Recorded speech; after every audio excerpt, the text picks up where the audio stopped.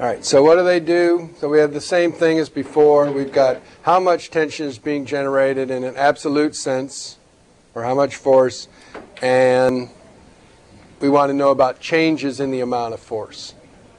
Okay, so how much force is being produced, and any and how much change is occurring as we develop force. Okay, so that's what Golgi tendon organs do. So static amount of force and changes in that force.